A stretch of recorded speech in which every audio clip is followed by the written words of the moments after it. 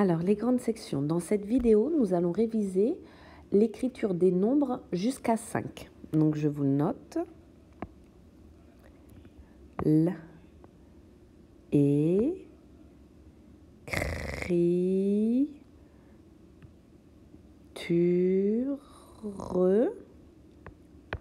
l'écriture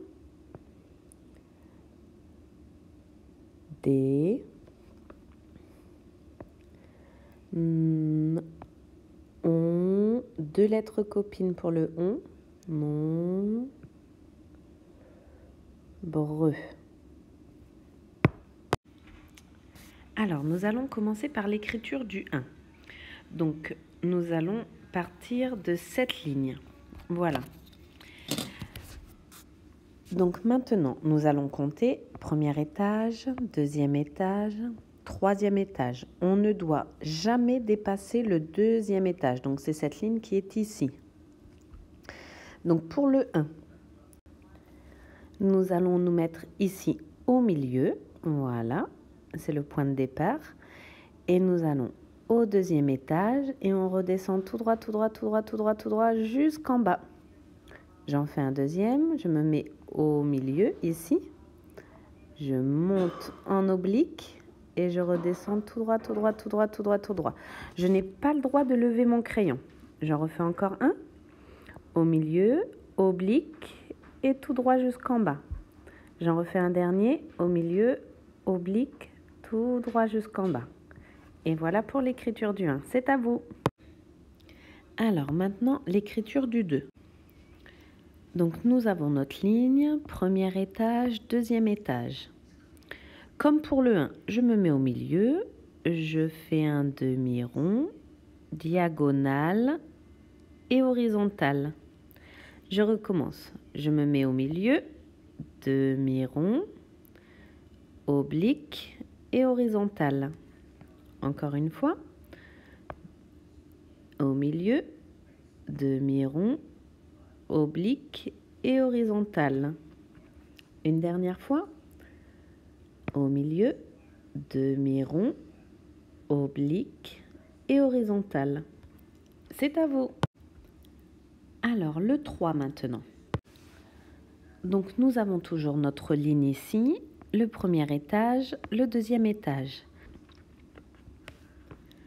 Donc voilà, comme pour le 1 et pour le 2, je me mets au milieu je vais toucher en haut, toucher la ligne, toucher la ligne du bas. Et voilà. Je recommence. Je touche en haut, je touche la ligne et je touche en bas. Encore une fois, je touche en haut, je touche la ligne, je touche en bas. Et une dernière fois, au milieu, je touche en haut, je touche la ligne, je touche en bas. Et voilà. C'est à vous maintenant. Et maintenant, c'est parti pour le 4. Donc voilà, on a toujours notre ligne, le premier étage, le deuxième étage. Alors, pour le 4, je me mets au deuxième étage, je descends au premier étage, je vais tout droit, et ensuite un trait au milieu qui va jusqu'en bas. Deuxième fois.